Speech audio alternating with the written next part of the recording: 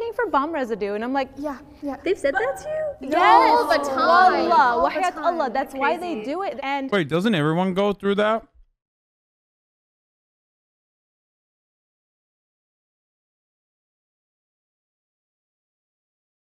Wait.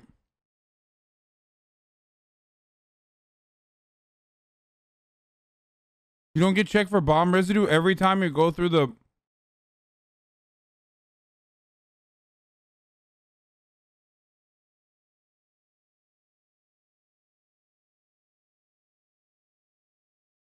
Like every time you go through the fucking thing?